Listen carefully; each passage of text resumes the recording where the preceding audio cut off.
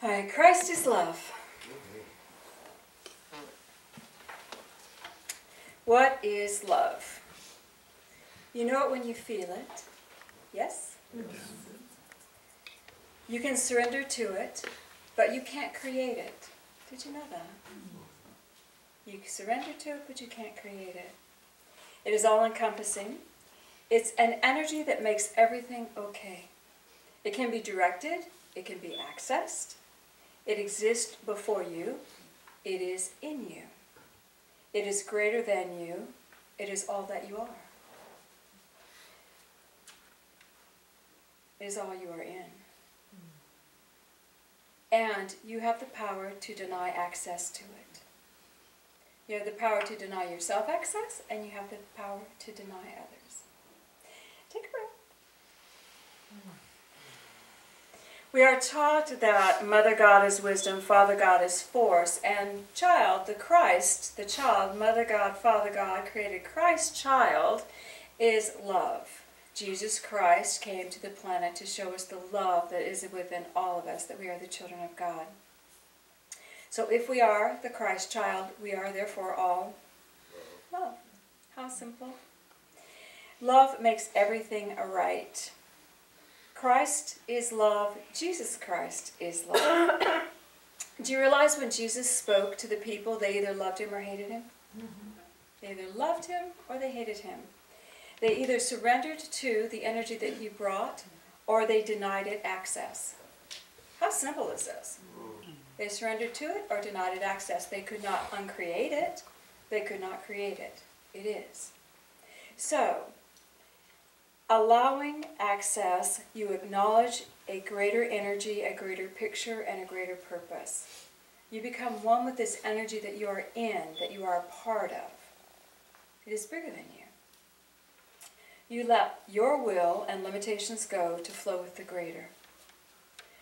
All the love I need is right here, right now, if I open to it and allow it. Because I am love. Simple. You already know all this, yes? Yes. And you live as if you know it? Maybe no. Okay.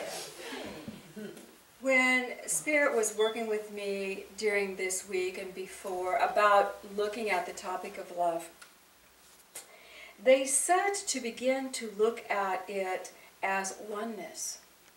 Um, I was shown, when I talk about spirit, uh, guides, teachers, speaking to me, they said, we think of love, I love you, in a way that is, I am human, you are human, and we will connect via this thin strand of love. You know, we are now creating this connection that of I love you, you love me. It's this energy. And they said, even in that sense of love, when you love that way, there is still separation. Because I am still here and you're still there, and yet I am sending you energy and you're sending me energy. There's this sense of separation. Do you understand? Okay.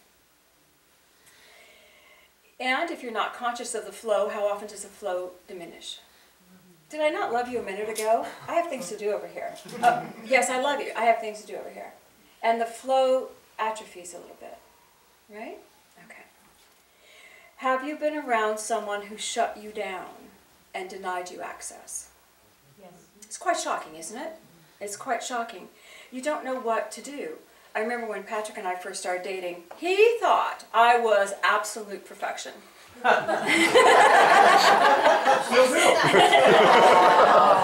thought I was a daughter. I was divine, I was fabulous, and he adored me. He adored me. So one day, he said, bring me this. He was working, he was a carpenter at the time. This is Olo many years ago. He was a carpenter and he was working on a project. He said, I need you to bring me something at lunch. And of course, I'm doing my work. So I, I went to work and I was greeted by this man that I did not know pencil hanging out of his mouth. Have you ever seen him work? He always has pencil hanging out of his mouth. And he is not there. I do not exist in that moment as I look in his eyes. And I went? And he went, did you bring the stuff? yeah. Patrick, it's me. You adore me. You love me. not in this moment. In that moment, I did not exist. He had shut me out, and what did I do immediately? I shut down. No, I shut down. And I said, I don't like you when you work. and I told him as much. I don't like you when you work because you don't you you don't adore me anymore. What's wrong with you? but look at what we're looking at. We're looking at that space between. That space between. He shut me out. I shut down. Access denied. Access to his love was denied in that moment. Have you had those experiences, even with someone that adores you and you love them? Okay. So what we want to do is begin to lift our energy just a little bit.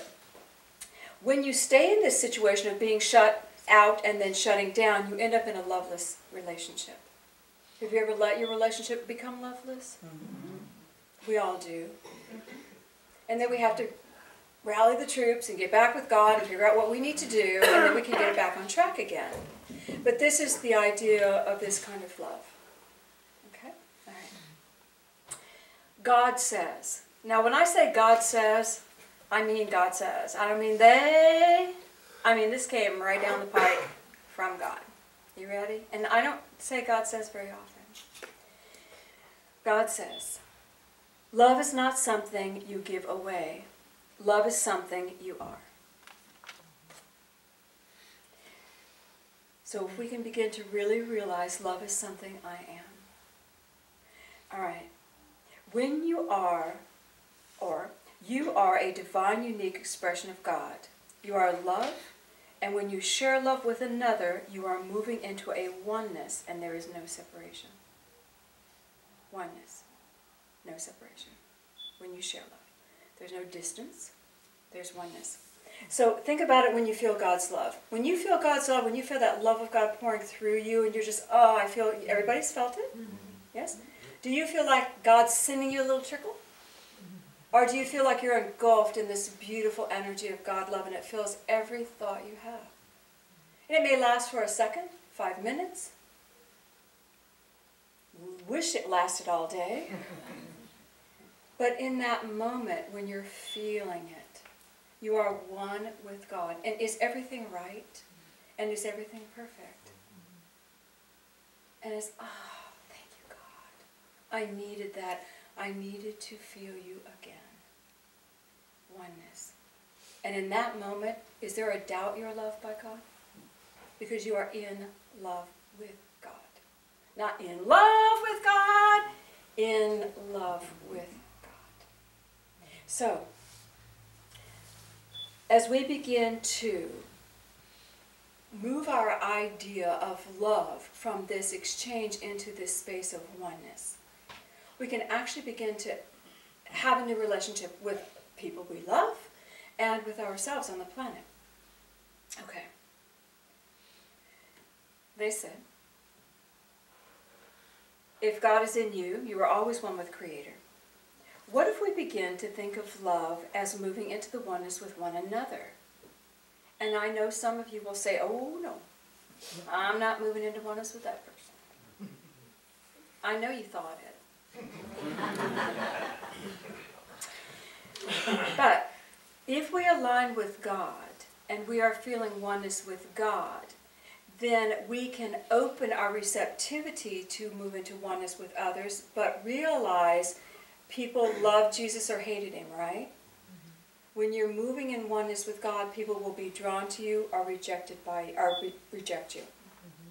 So when we're moving into oneness with God and then open to move into oneness with another, if they choose not to, do you care?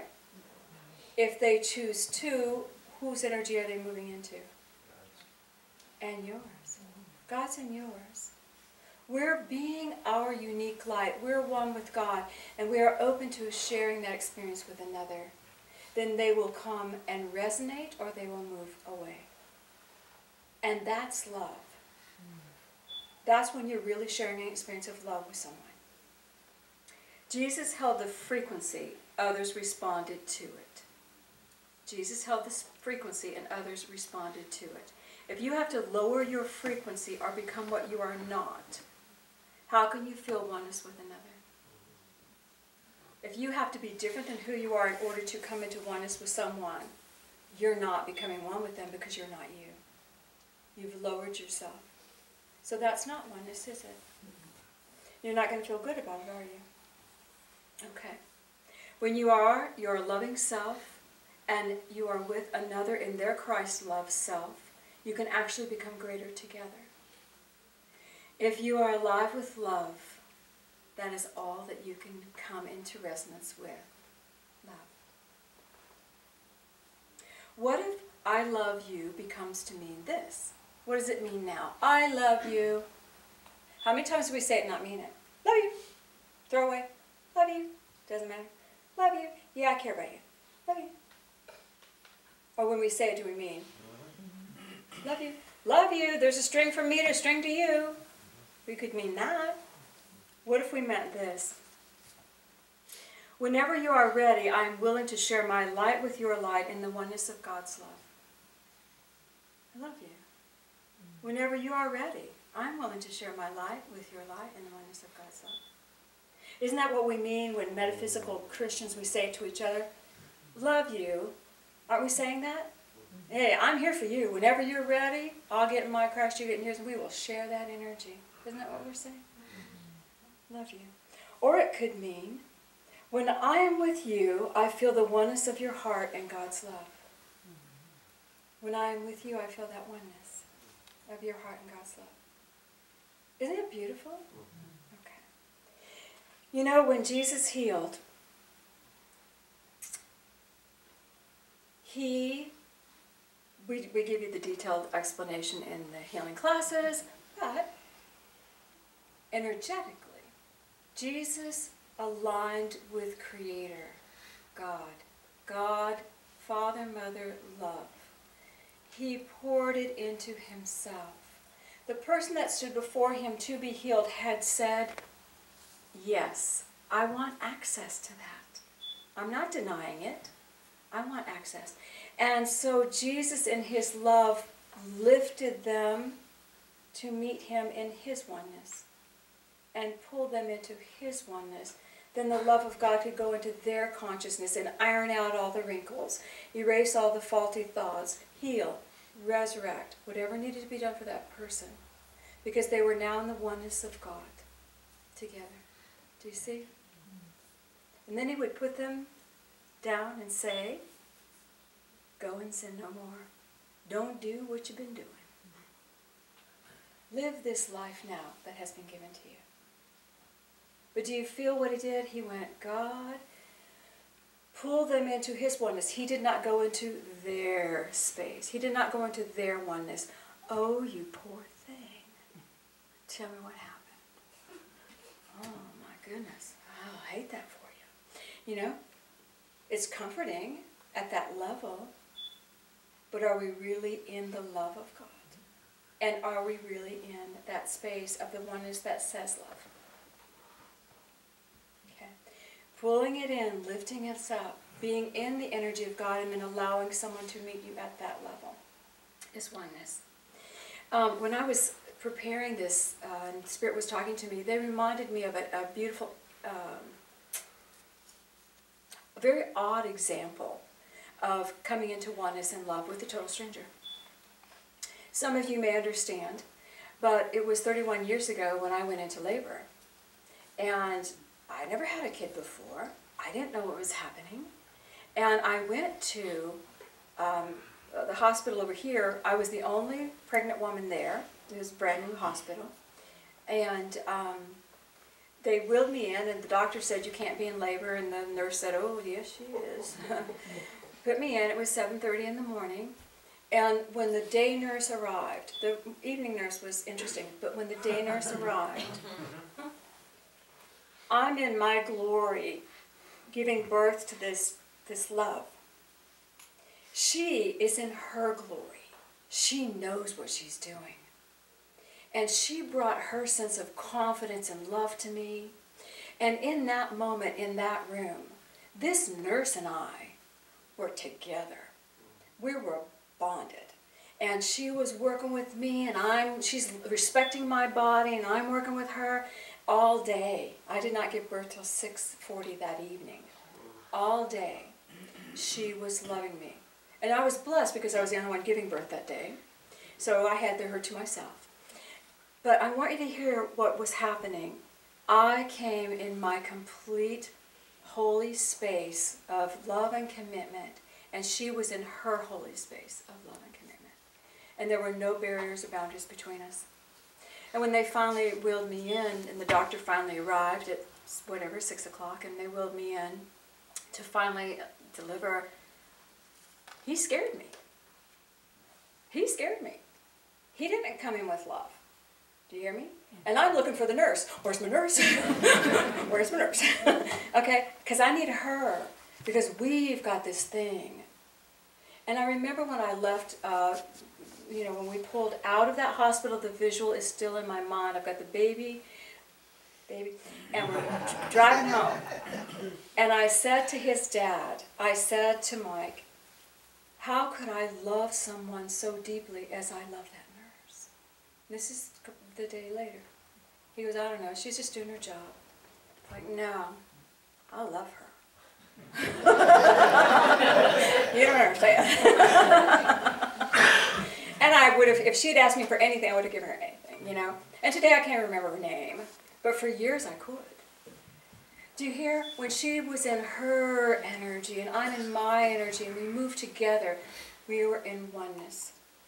Oneness. So it doesn't have to be someone you know. It can be anybody that we can have this experience with. When we are in our glorious, beautiful, unique God self, and someone is in theirs, the merging can happen, the oneness can happen. So, don't you feel that that would be a great way to have our relationships?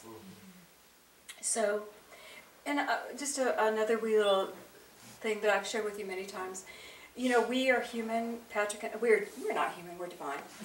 Cancel that. We're divine. But sometimes we get tired.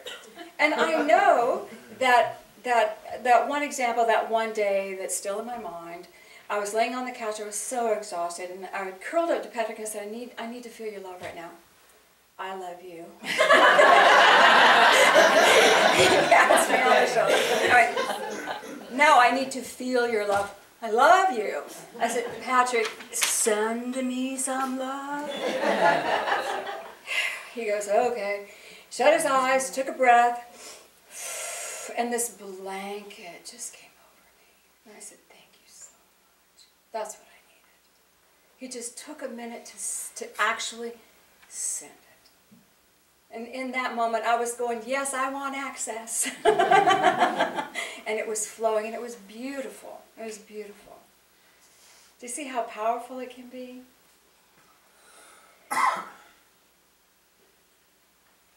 You are always loved. So these are the few little things for you to remember. Please, do you think you could become aware of when you shut down? Do you think you could come up with a different response when someone shuts you out? Hmm. Even just to be aware, I just got shut out. What could I do that would be different rather than shutting down? If we know we are one with God, maybe we could go there. I don't want to get, I don't want to shut down. I want to know I'm one with God. God said love is not something you give away. Love is something you are. So very brief. So I'm going to tell you Cindy's story. And this is not about you at all. If you happen to see yourself in my story, that's not my fault.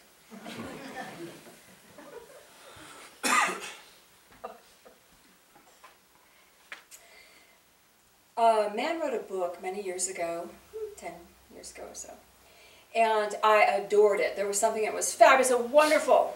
And I wrote him a letter and I said, oh my God, I'm so glad you wrote this book. This is what we teach, this is what we believe. I'm so excited. Yes. And several months later, I got just a little response back that said, thank you for your interest and good luck to you. Like, Great. Okay. So a couple weeks ago, I got a phone call, and it was the author. And he said, maybe a week ago, he said, hey, Cindy, how's it going? Like my friend. Haven't talked to you in 11 years. Got your letter, going through the files, looking at, well, how are you and Pat doing? Did you ever build that church? And we're just chitty chatting. I'm going, oh, this is great. I'm chitty chatting, chitty chatting. So we're having a great conversation. And then he um, says, oh, we're talking about all the countries he's been visiting. He's been doing spiritual work across the world. You know, talking to the Mother Earth. And of course, what do we do every now and then, guys? So it's like, oh, that's our brother from another country, yay! So anyway, this just I'm excited. I'm so excited, and and hang up. And so then er, last week or so, the energy started shifting, and I'm thinking this is somebody that really sees the bigger picture because he's out there, and I'm right here doing the work. But I, y'all, I get stuff from Spirit all the time, and I don't know what it means. It's like bump, bump, bump, bump. But and if I try to interpret it, I would be wrong because every time I see that stuff play out, it plays out slightly differently. But I don't get the big picture. They just say this, this, this, and this. And I'm thinking, well, this might be a good connection. So I emailed him and I said, hey, I've been seeing this, this, and this. Do you have any idea what's happening since you're in the world all the time? And he emailed me back, and then I sent my comments back, and that was it. And then he called. I went, oh, he called. Little Cindy, oh, he wants to be my friend. I'm so excited. So I called back. And you guys know me, if I'm excited about something and trying to share information, do I not? so we're chatting. And then I said to him, someone brought me, I didn't say this to him, but one of you all brought me some information that I had no knowledge of, and it reminded me of his book. So I'm talking to him, I said, hey, you know that character in your book? And then I asked him a question about the character in his book. And then he went into a conversation very briefly, and he goes, um, "Yeah, yeah. Well, um, well, Cindy, you know what? You're great, um, but you're still caught in the drama. And uh, I know you've got a client to get to, and I've got to go." And I went, "Thank you." And then I said, "Okay, I've got to go now." So, access denied. He shut me down. He shut down. He Shut, what's my words? See, I'm in it still. Yeah. He denied me access. and he said I was still in the drama. And I shut down. And I said, good to talk to you, goodbye. And he said, I Skype with people periodically. Maybe we could stay in touch from time to time. I gotta go. I didn't even say I'll talk to you later. I didn't even say that sounds good. I gotta go. So I got the phone. And I went, and he verified I wasn't drama because I went, What do you mean I'm in the drama? I want to tell you that I was great and spiritual in that moment, and I was not. and I cried. I just wanted a friend. I just wanted a friend that I could talk to about all this crazy stuff that I get that might help me understand it, that's out in the world doing all the work. And then I said, Suck it up, Cindy, get over it. I sucked it up. My client appeared. I started the pray in with my client. She's a beautiful girl. And I went, oh my God. I am bringing in God love. She is coming into my space with her drama. And I said, God, in that moment, God, I thank you with all my heart that I am in this chair and able to walk with her through her drama, to bring her into your heart so she can heal and I'm grateful for every person that I've ever sat across to help in their drama. And I am grateful for everything I have learned. And I would not not be here for anything. I wouldn't have missed one person to be traveling the world and doing all the stuff that he was doing. I wouldn't miss one person.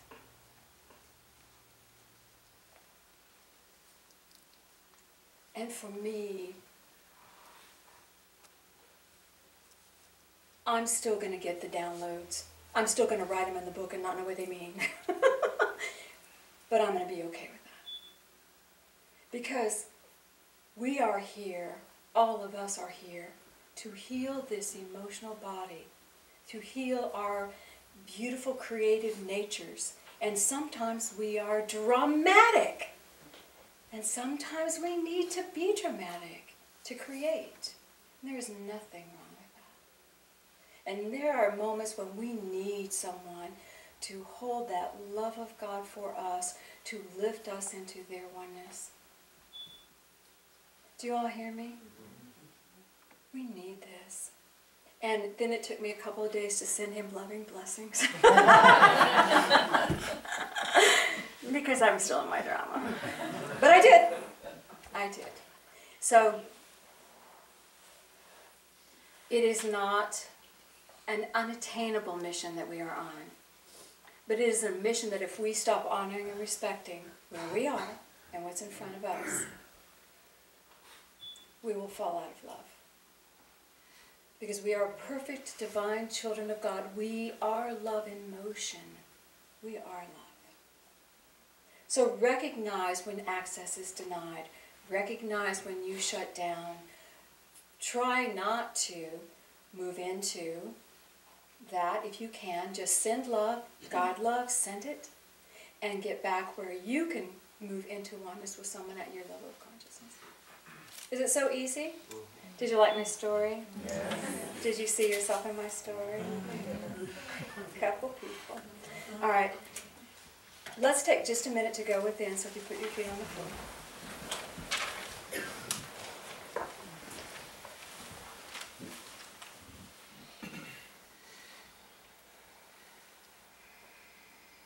Father, Mother God, we open our hearts. Today is a day of celebration for us. Today is a day that we are choosing to truly be that love that is within us. So I ask that each one of you begin to feel your own heart opening. And I want you to just tap into the gratitude that you have for your own space. I am grateful for my life. I am grateful for my life. And for you. And we welcome all of those beautiful angels that guide us. And in this moment, God, help us to turn our lights on. I would invite each one of you to feel the light I am within you and let it begin to shine. And lift up into that beautiful radiance of your divinity and let it shine.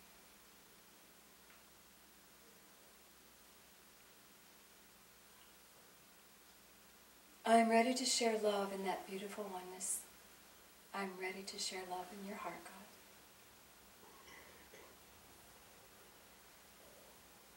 God. And I let separation go.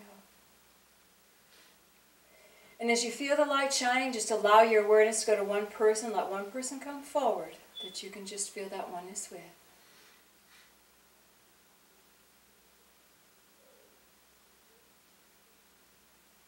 And just feel that it is good.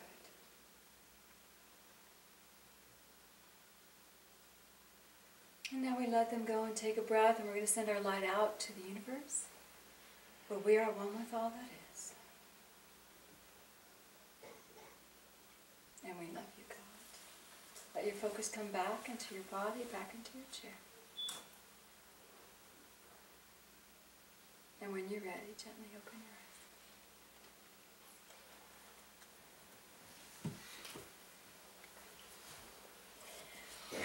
Well, I hope you have been inspired to love in a different way. I hope that when you feel yourself doing the old familiar love, you recognize it. And I hope that when you want to move into oneness, you make sure you are you.